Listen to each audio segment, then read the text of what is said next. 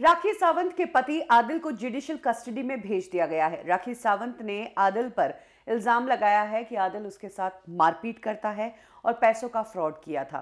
अब तक खबर आ रही थी कि राखी सावंत के चार लाख रुपए ही आदिल ने खाए, लेकिन अब जो डिटेल सामने आई है, वो बेहद चौंका देने वाली है।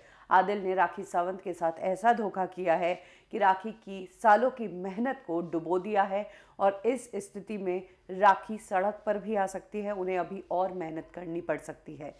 राखी सावंत की तरफ़ से आज दो वीडियोस सामने आई हैं, जिस, जिसमें आदिल से राखी सावंत पूछती है कि मेरा पैसा कब चुकाओगे? डेढ़ करोड़ रुपया। तो आदिल कहता है कि चार महीने के अंदर तुझे तेरे पैसे रिटर्न कर दूँगा। इसके बाद एक और वीडियो है, जिसमें आदिल बताता है कि उसने राखी सावंत के डेढ़ करोड़ रुपए छह लग्जरी गाड़ियों में इन्वेस्ट किए। ये गाड़ियाँ मर्सिडीज से लेकर वॉल्वो थी और इन सभी गाड़ियों को लेने के बाद आदिल इन गाड़ियों को बेचने वाला था।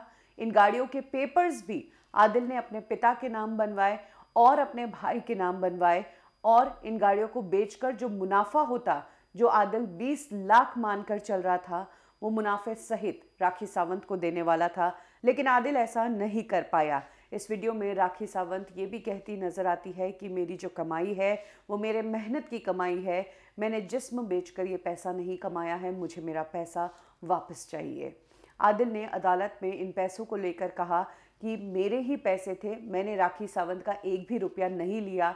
आदिल के इन बयानों पर ही राखी सावंत ने प्रूफ के रूप में ये वीडियो रिलीज़ किए हैं, जिसमें आदिल मानता नज़र आ रहा है कि हाँ तुम्हारे पैसे हैं और मैं तुम्हें जल्द ही लौटाऊँगा। राखी सावंत ने अपने बैंक स्टेटमेंट भी पेश किए, जिसमें साफ़ नज़र आ गया कि आदिल को राखी सावंत के अकाउंट से कई सारे पैसे ट्रांसफ़र किए गए हैं। यानी कि आदिल ने न सिर्फ़ फिजिकली राखी सावंत को टॉर्चर किया है, बल्कि फाइनेंशियली भी राखी सावंत को धोखा दिया है और राखी सावंत का डेढ़ करोड़ रुपया डुबो दिया, एक रुपया भी रिटर्न वापस नहीं किया।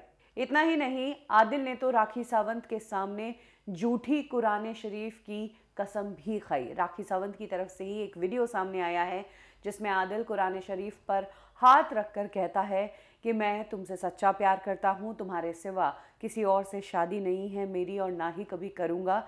इसके अलावा जो तुम्हारे साथ बिज़नेस किया है या जो तुम्हारे पैसों से बिज़नेस किया है उस बिज़नेस में भी मैं तुम्हें धोखा नहीं दूँगा। कुरान शरीफ पर हाथ रखकर कसम खाने के बावजूद भी आदिल ने राखी को धोखा दिया। विद इन फोर मंथ देता हूँ प्रॉफिट जो भी आता है हिसाबदार को दिया। नहीं मुझे प्रॉफिट नहीं चाहिए मुझे सिर्फ़ मेरे पैसे चाहिए। मेरे हार्ड अर्न ऑन मनी है। मैं रंडी की कमाई नहीं है मेरी। मैं एक सीधी सादी मेरे खून की कमाई है मेरे जेवर बेच के दिए मैंने।